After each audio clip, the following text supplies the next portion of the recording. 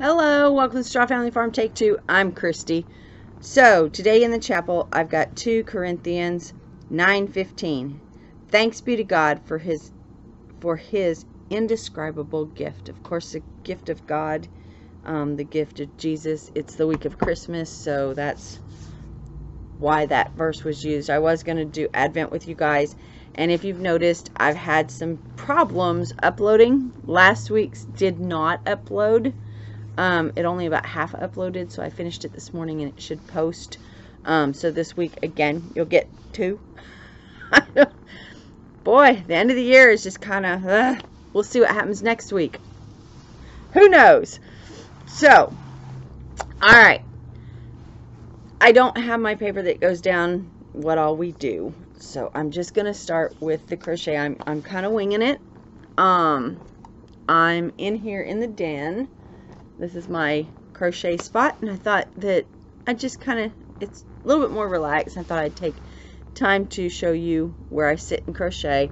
Um, I've got my big comfy chair. My yarn basket is over there.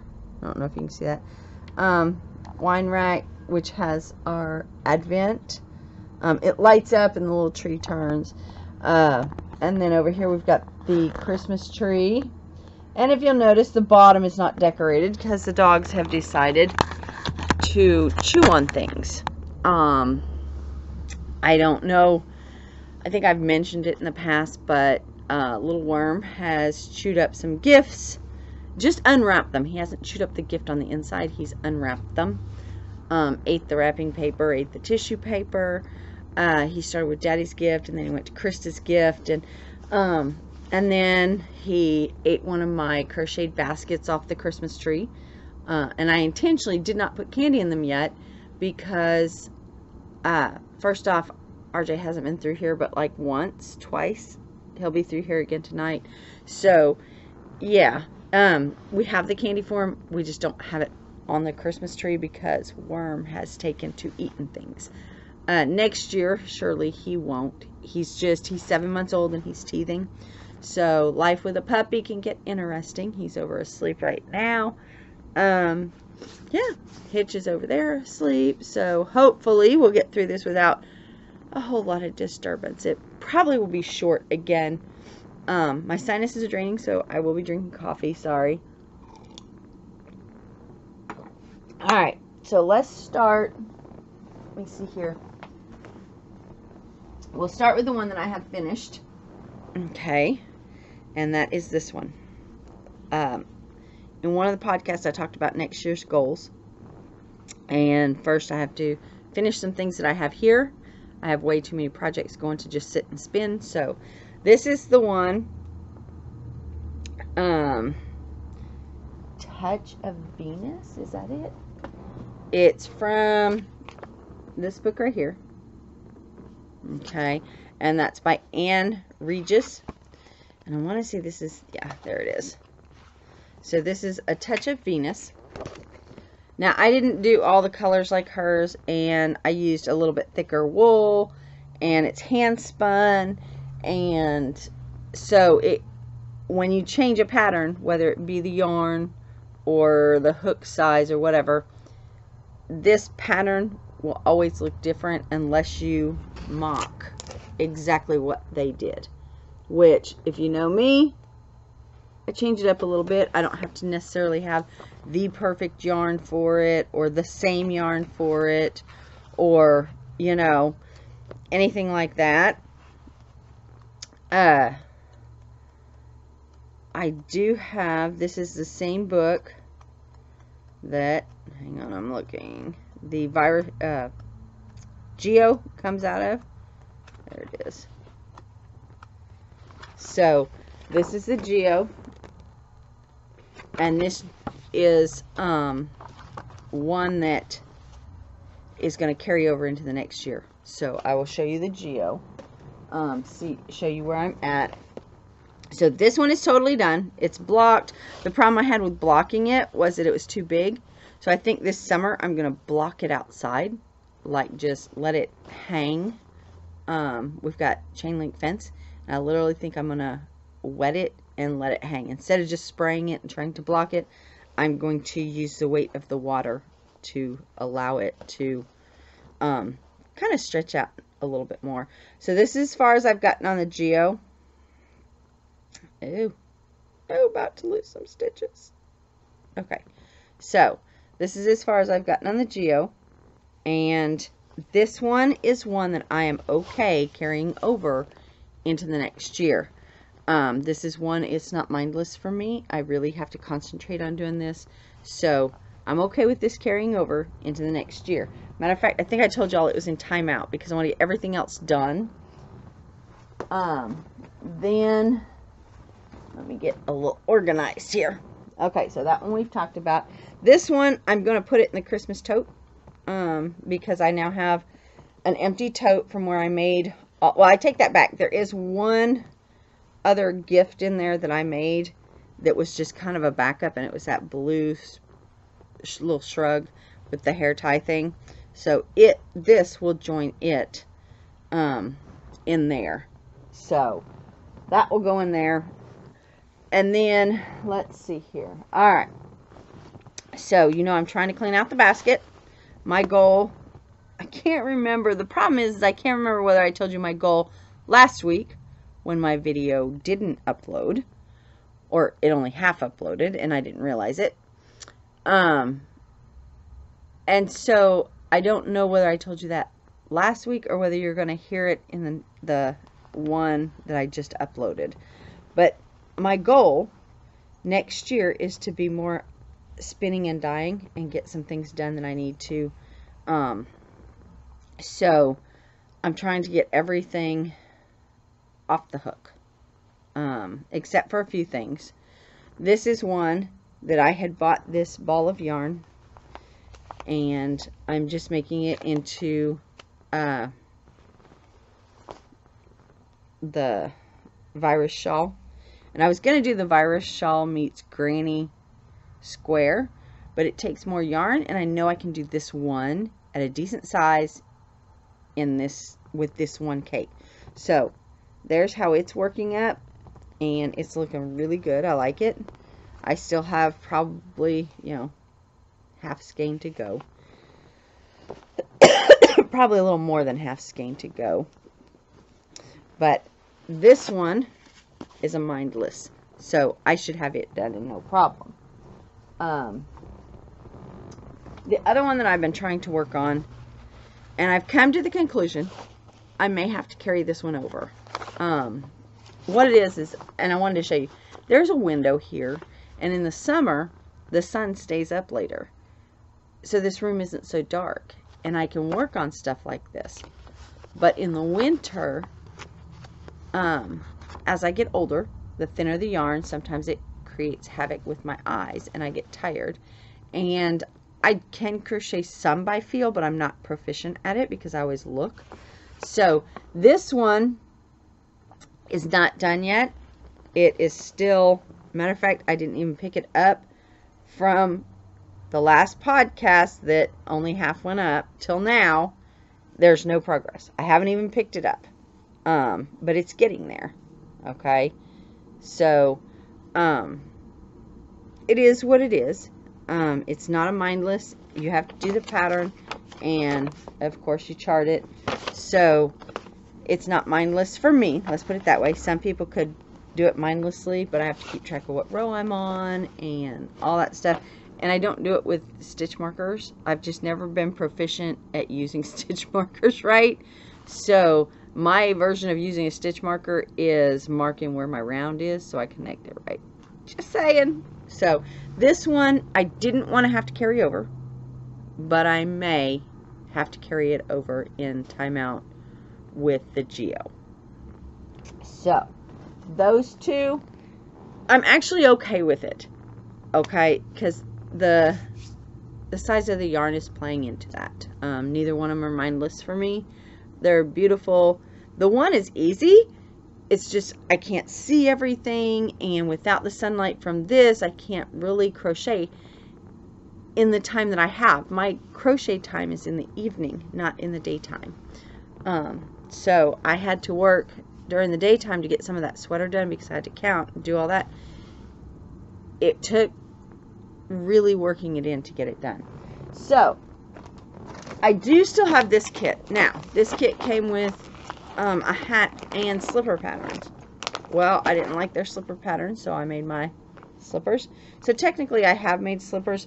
I've attempted to make a hat out of this. I didn't like the pattern. I thought I'd use some of that. This kit is just going to sit around.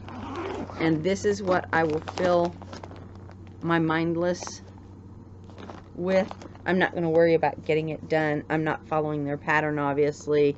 It's just, and we all have that yarn that sits around that we are going to do something different with. So that one will carry over, but not really because I, I don't, I may make all slippers out of that just to have as Christmas gifts next year. so, um, just to use up that yarn. Now, the other one that, and I knew this one was going to be a carryover, but I forgot to mention it when I did the other, is my Round the World, my little, so I have a little tote here that I'm just dropping them all in. And I have my hook in here. And so this one, I just have the different yarns and I have a ton of this yarn. So if I run out of things to do, this is the one I work on. This is my go-to. Super easy. Um, this one, honestly, will be stored away. It's the only thing that I have that I didn't complete and that will be stored away out of a year of doing kits. Um, it's actually been a little bit longer, I think, than a year. But anyway, this is the only yarn that I have stored away for any of that. I do have some leftovers after I did the kits. So, yeah. And then I got my final kit um, from Mary Maxim. I called and I'm canceling. And it came, so this is the kit. right here. Alright, so it came with this pattern right here.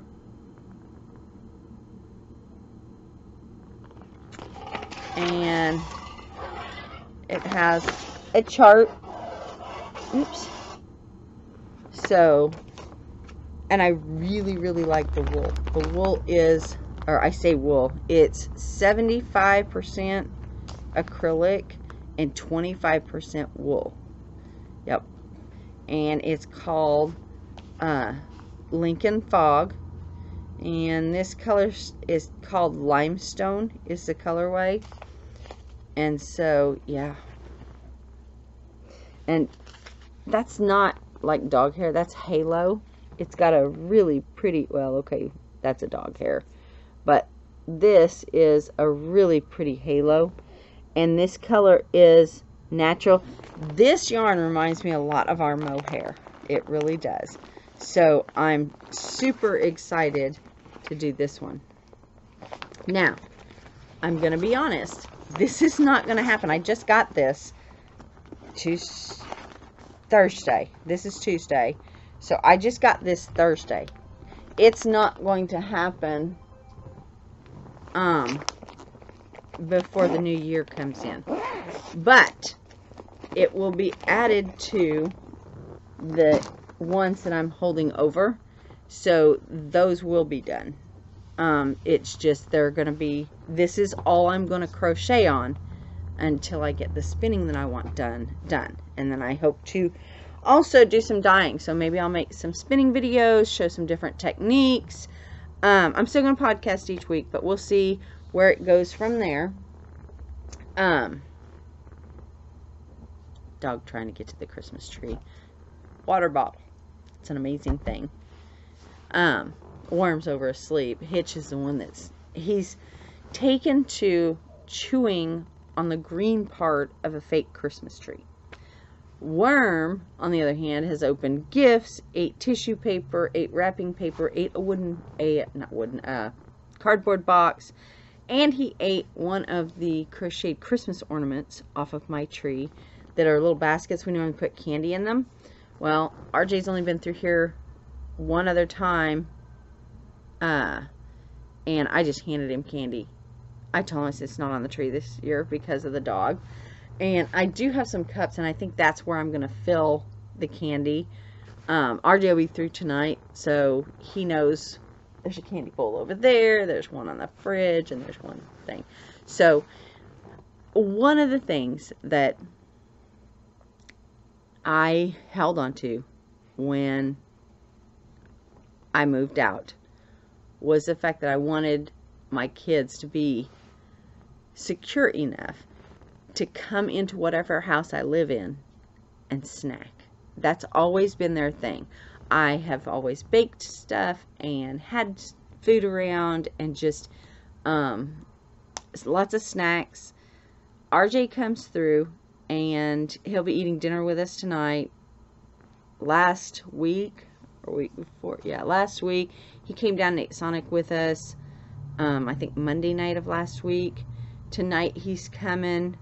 Um, he's going to work on a car in the shop, a truck, because obviously the farm doesn't have a shop. He's got to change out an alternator, and this shop is big enough to get his truck in, so he's going to come and use the shop. And roommate's dad has a bunch of tools and stuff out there, so gets him out of the weather, gets me time with my son. I'm not going to not say that. But anyway, the snack and the candy, and I think I'm going to put another bowl here with what would be on the Christmas tree. If you followed us for very long, you know that our Christmas tree is not this untouchable, pretty thing. It has always had crocheted Christmas ornaments on it, straw Christmas ornaments. It's got pull toys on it. Um, and RJ always would get them his favorite to carry to take off the Christmas tree and carry around. Let me see if I can find one. His favorite was a cow. Hold on just a second. Let me. Okay, let me see if I can find the cow real quick. And of course, when you're looking for one, you can't really find. There it is. Okay. And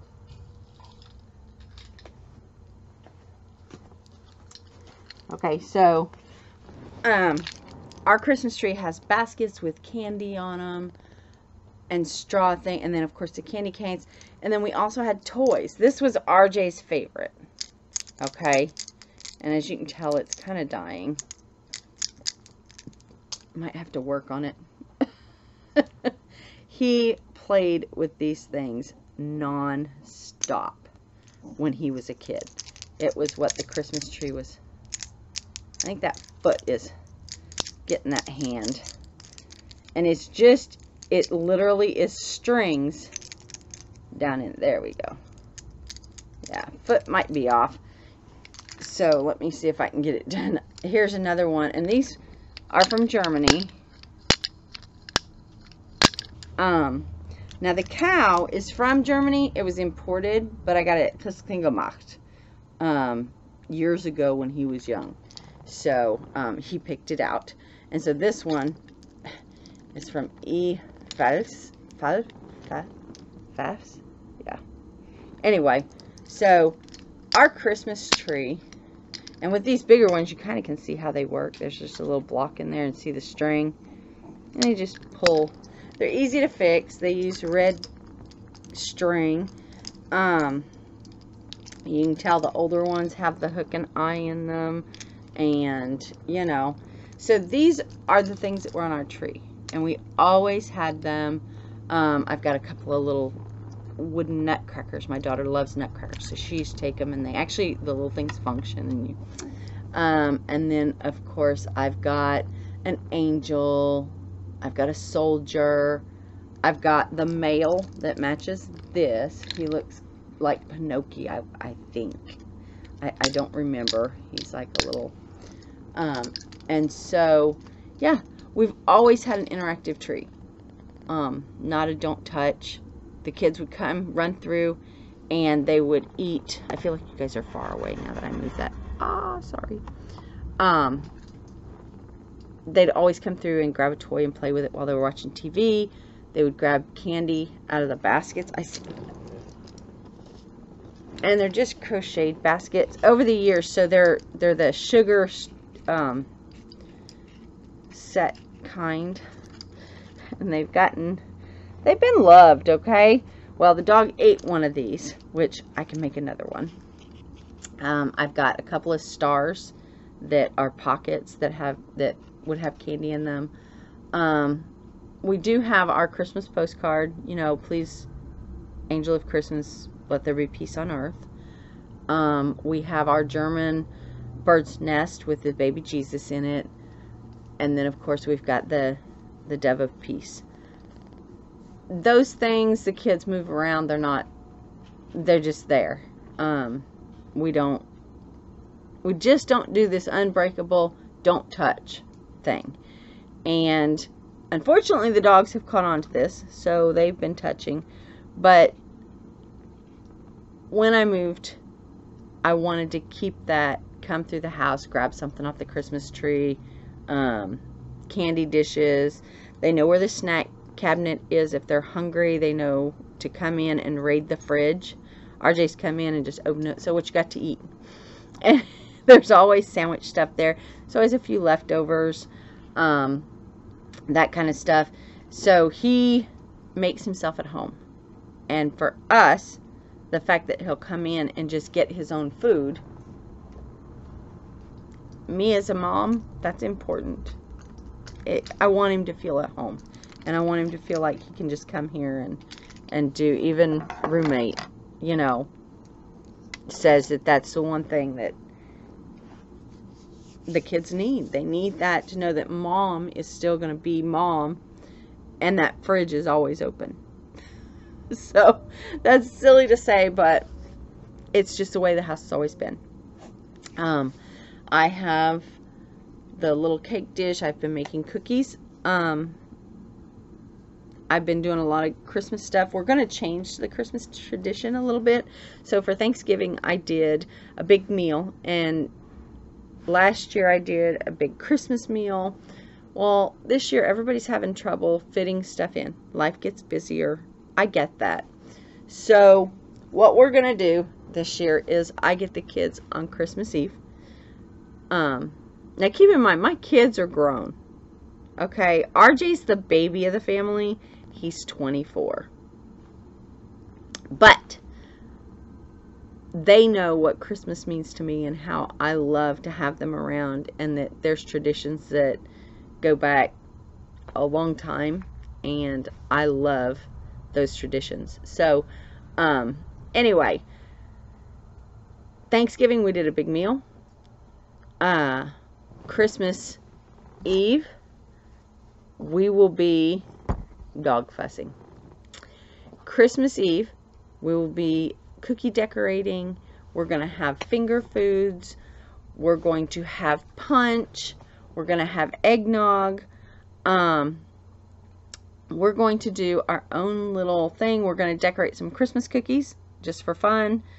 Um, just like when they were a kid of course we're going to eat the Christmas cookies too, but hey.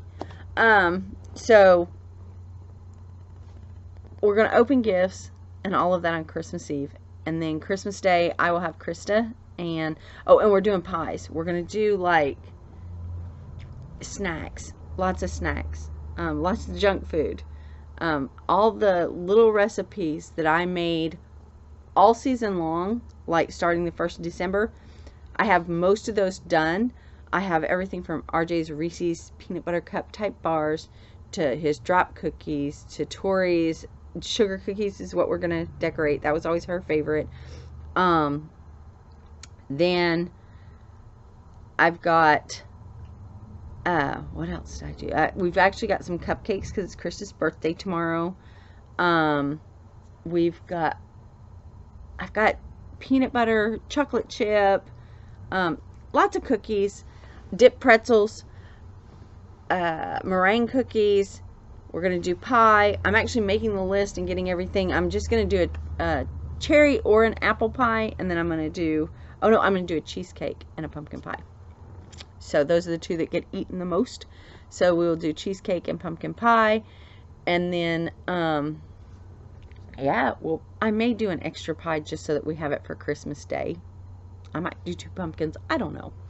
But we're going to snack. We're going to have drinks. We're going to decorate Christmas cookies and be silly um, and open presents. just like when they were kids. So that's going to be my Christmas Eve with the kids. And then Christmas Day, roommate and I have decided we're just going to have a quiet one. Um, roommates, mom and stepdad, I don't know if we're going to drop off their gifts or if they're coming Christmas Eve or what. Um, for finger foods for Christmas Eve, we are going to have some sandwiches. I'm just going to, I was going to make fancy trays, but I'm not going to. I am going to hitch. It's enough. Um, I was going to make really like fancy trays and that and roll them up. I don't see the point because then I got to put it all away if we don't use it. So I'm literally going to have Tupperware tubs with the meat and the cheese and we'll do some sausage, you know, some uh, cheese and cracker type sausage, uh, summer sausage. So we're going to have that kind of stuff. So, but we are having protein and meat. But we're going to do it in the form of sandwiches. So, um, it is what it is. It's Christmas is changing a little bit. And I think that comes with the fact that the kids are getting older. They have their loved ones that they have chosen, um, you know, to be partners with or, or marry or, you know, um,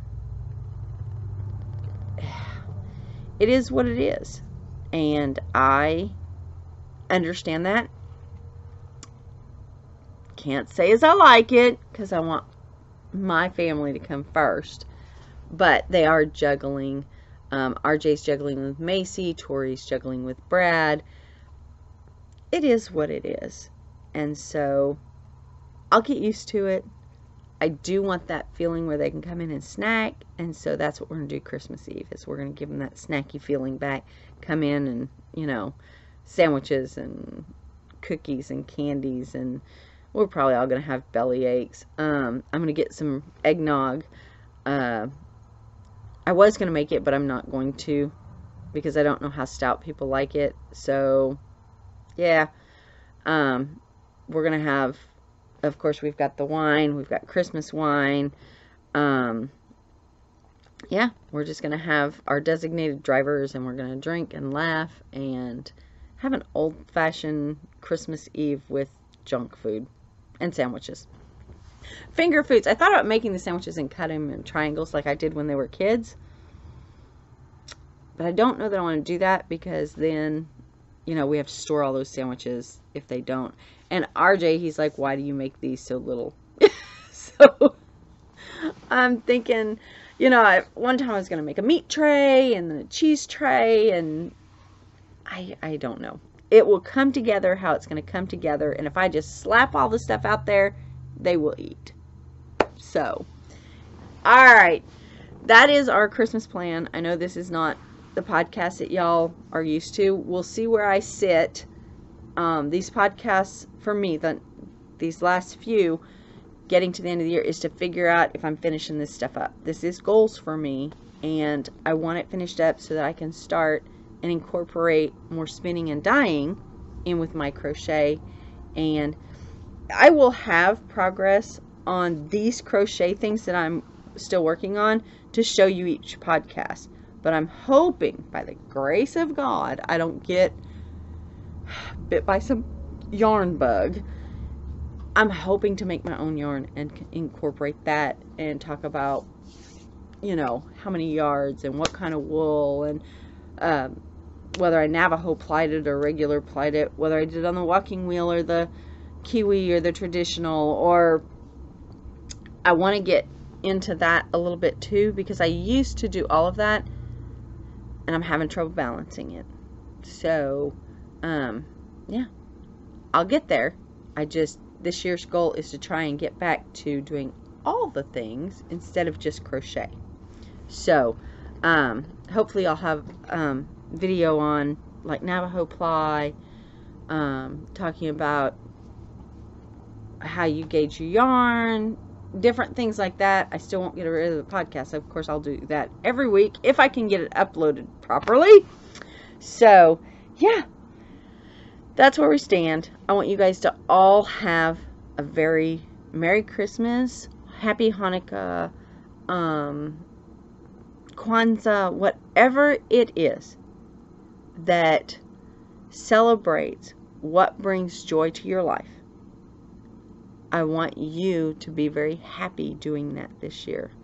Um, I pray every day that you guys are happy, healthy, and just living life. So, you guys are always in my thoughts and prayers. Merry Christmas. Um, I'm going to upload this one. Yeah, I'm going to monitor it today. It's my last day off before Christmas, so yeah, I'm going to monitor it. But I will get it up because I want you to know how much I love you guys and how much you are helping me achieve goals just by doing this little bit, helping me achieve goals and keeping me on track, even though you don't know you are. so, hopefully next year it'll be more well balanced with spinning and crochet. I will see you guys in the last year, in the last week of the year. God bless every one of you and Merry Christmas.